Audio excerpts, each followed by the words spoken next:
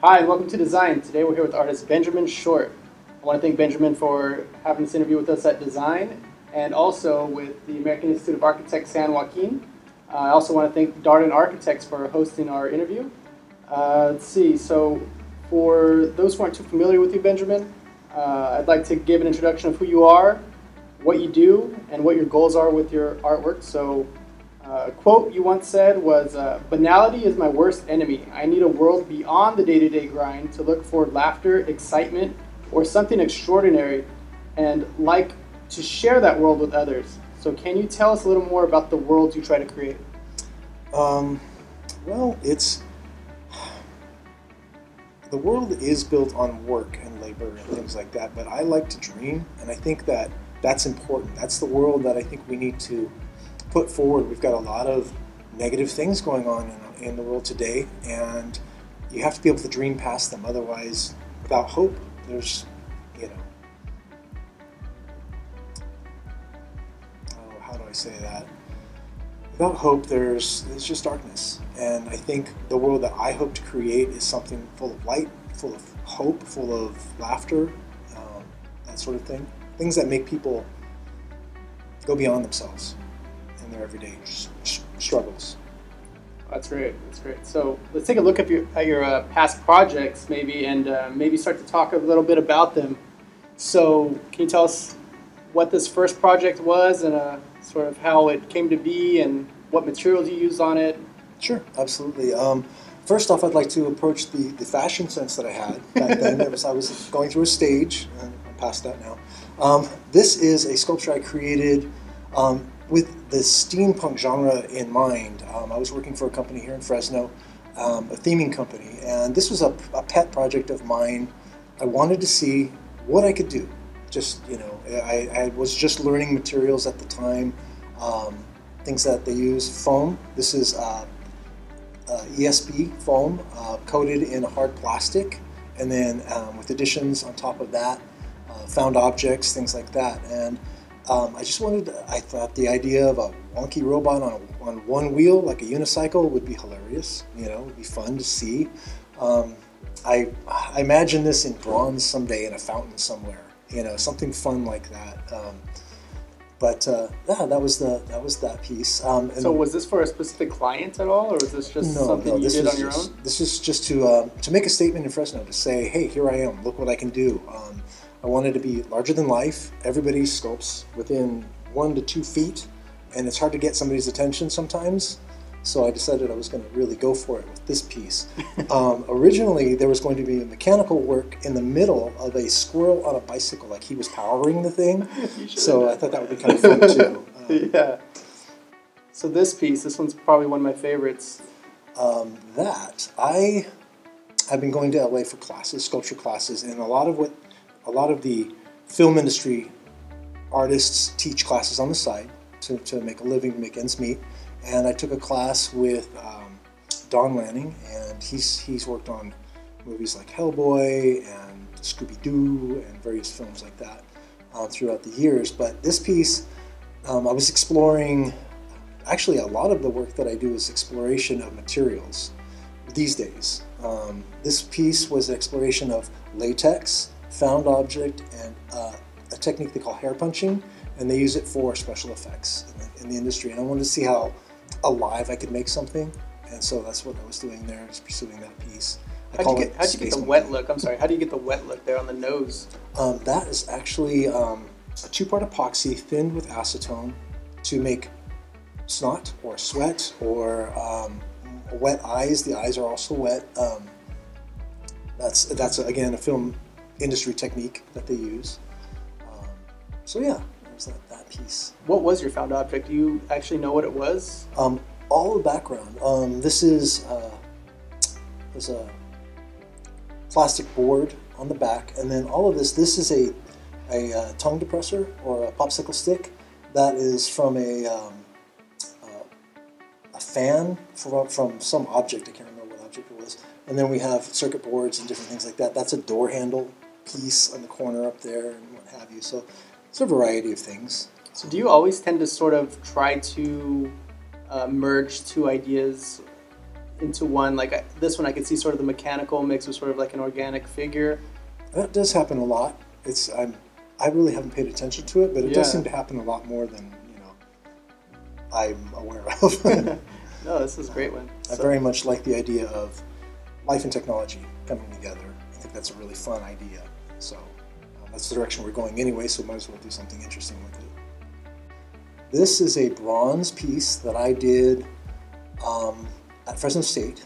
I took a um, workshop, I guess you'd call it, and this is the piece I produced. Again, steampunk. This is a character, um, Xavier Avante. Um, he's a he's a airship captain. I usually start with a story. In any piece of art that I do, I have to have a story foundation, personality to, to build off of. And he was I was exploring steampunk during the, that time, and that idea just popped into my head one day, and I thought, you know what, let's do something with this. This- he was originally going to be a lamp, um, but I didn't get that far. I haven't really explored electrical work. I'm more of an artist than I am a technician. So, um, but that was one of my pieces. You said this one was cast in bronze. It is in bronze. yes. Did they have a um, a way to melt the bronze there at Fresno State? Yeah, they have a foundry, a full foundry. Um, not for large pieces like the first piece you saw. We wouldn't necessarily be able to do that there, but anything smaller than that is, is possible. Yeah. So this one had a backstory as a pilot. The other, the previous one had a story as well. Then, I mean, you just wanted something to look alive. Exactly. Um, just an alien creature kind of concept, you know, something that could be thrown into any movie. Very passionate about films. It's our it's our literature of the day. It's the literature of our age, and it's how we convey ideas. And sometimes they're good ideas, sometimes they're bad ideas, sometimes they're neutral ideas. And um, I lean towards the positive as much as possible. So. So you mentioned Fresno State, um, and then sort of some techniques in LA. Uh, so where did you grow up, and how did your early childhood maybe affect sort of the work you do today? I mean, were there any experiences or people you ran into growing up that really influenced the way you do work? Um, yeah, absolutely. My father was very much a nature guy. He was a he would have been a woodsman back in the day, you know, if he could have. We spent a lot of time up in the forest, so I very much fell in love with nature in that sense. And my my grandmother um, was very religious, very strong in her religious beliefs, so that gave me the spiritual side of my art. Um, and I had free reign. I lived on Herndon and Blackstone uh, back when there were fig orchards and fields and farms and whatnot, kind of in that area. Not, tons, but a few. Um, so I had a lot of free time to run and explore my imagination and what have you. So that was a, had a huge impact. That's great. Okay, so we talked a little bit about the techniques. Um, what is sort of the most prevalent technique you're using these days as far as creating your art? And um, I guess uh, what scales are you using right now? Like, are you doing more small scale projects or large scale projects? Um, currently, I am doing excuse me, um, small scale projects. You know, um, it's really hard to store monstrosities like the first one, uh, first piece. Um, so I'm working small and refining my ability, my technique, and what have you. Um, I'm doing a lot of casting in plastics and um, rubbers and things like that, masks, um, figurines. Uh, they call them maquettes, maquettes in the film industry. Um, and that sort of thing. I really am going to be working on a larger project coming up uh, for Bullard High School um, here in Fresno. Um, it is their mascot. It's a knight charging on a, on a stallion with a lance and shield, and that's going to be 10 foot by 20 foot long, 10 foot high by 20 foot long. And um, after that, I'm going to be doing some large scale sculptures um, just to get back into it. I, I really love working big. I like the idea of somebody maybe walking around the corner and seeing a face the size of a bus on the side of a building. That's very exciting to me, that size of work. Do you have a studio here in Fresno? I work out of my garage. I'm transforming it into my studio. I used to have a studio at um, um, Broadway Studios um, that's uh, run by Reza Assemi. And I decided that I need to work at home. I need to have things familiar around me. And that really helps to, to percolate some really fun ideas. Um, and I get a lot of inspiration that way. Awesome. So you've also said, I strive to tell a little story about the human experiences with each piece I make and attempt to ignite the imagination of onlookers with what is possible if they dare to dream just a bit.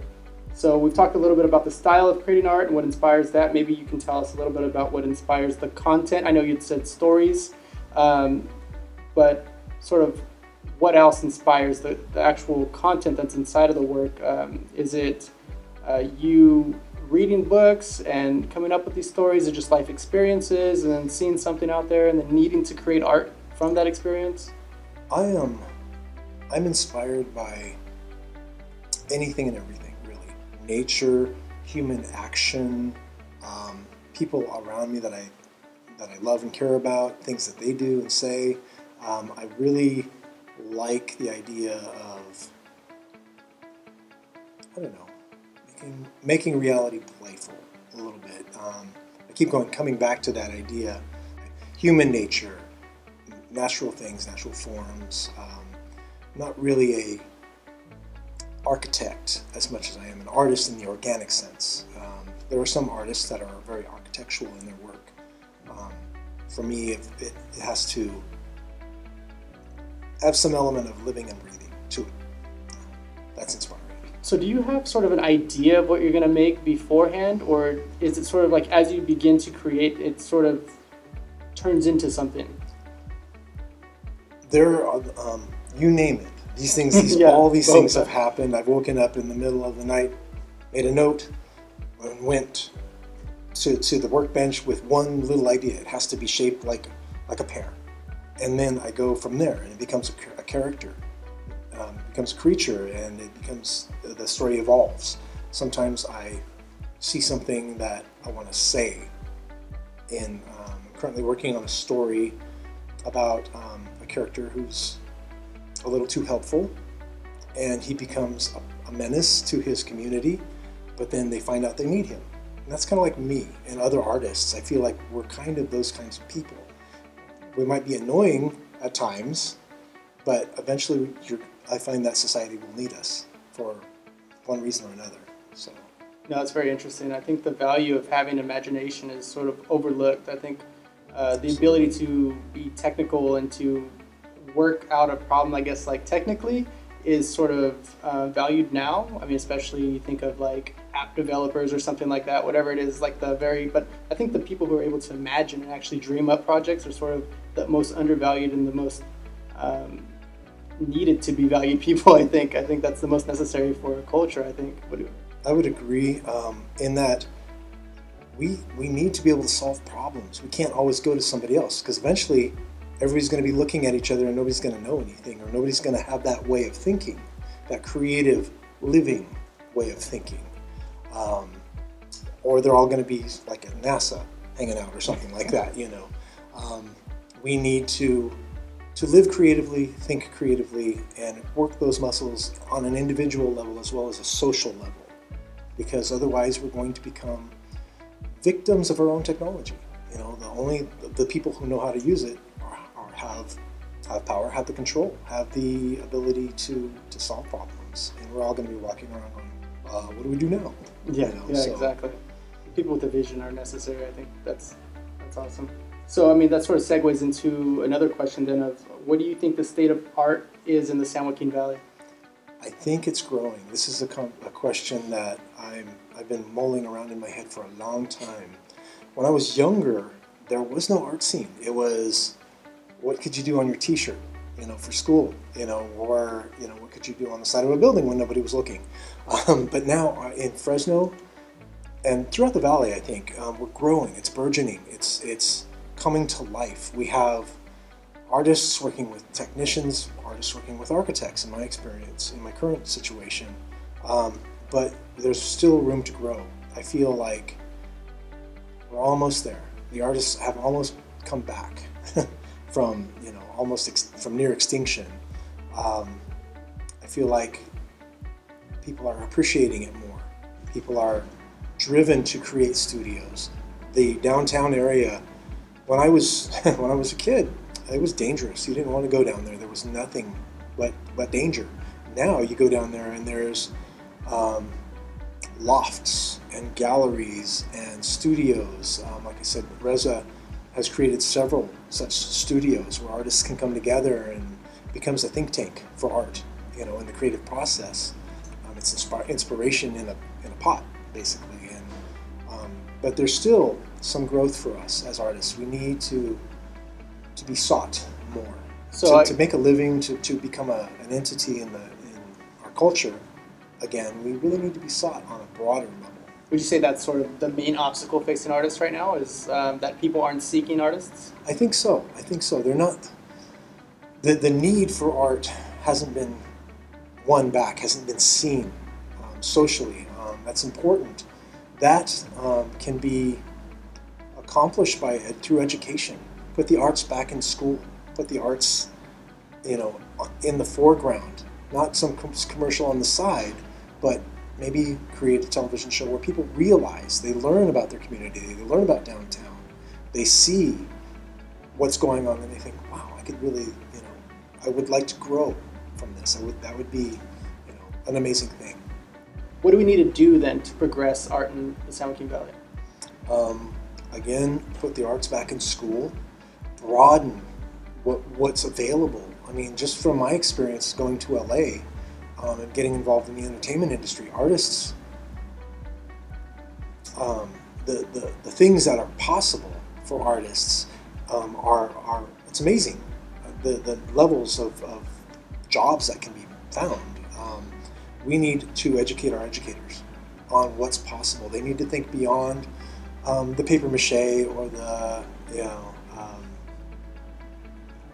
Small craft projects, small craft project, yeah. projects and things like that. I mean, if I had a team of artists with me, we could build amazing things. You know, but trying to find people who are educated in the same direction that I've, I've followed is hard to do, um, and stay employed and stay fed and housed and things like that. You know, um, but if if we could open our eyes to all the possibilities of art, it would fill our society. It would fill, you know, our neighborhoods. We could do amazing things. Right now, we kind of live in boxes.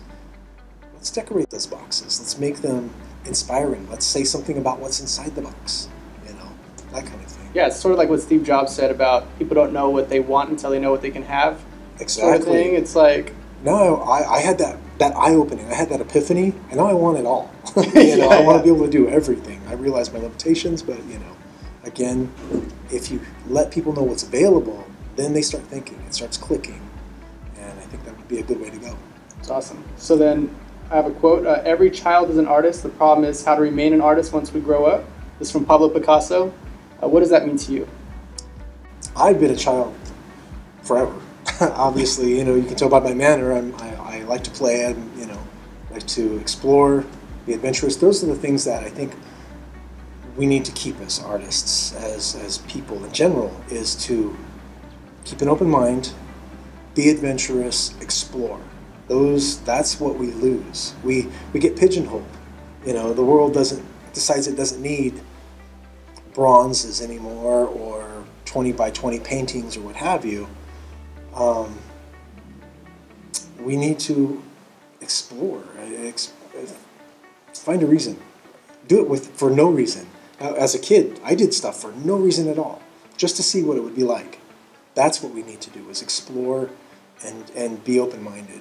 Um, Perfect. I think along the same lines, I say the same thing. I think it's like when you're a child, you experience everything for the first time, and sort of that curiosity and that sort of awe and wonderment is that's amazing. I think there's a part of our culture that gets bored easily. They just feed on imagery, they feed on sound, and what have you. And if you really thought about the, that imagery and that sound, that would lead you somewhere. As opposed, as opposed to now, it seems like our culture is being washed in media and things like that, as opposed to actually consuming it and digesting it and thinking about it. That's, I think, important. Yeah, that's great. So, Benjamin, thank you. What's the best way for people listening to reach you? I mean, uh, Um, social media. So, uh, two social media outlets that I use are uh, Facebook, Ben Short, um, on Facebook, or um, Instagram. You can also find me on Instagram. Um, if you want to reach me in person, um, you can call me at 559 367 2803. And if you're interested in creating an art project, that would be great. Awesome. Looking forward to meeting you. Thank you so much, Ben. Thank you.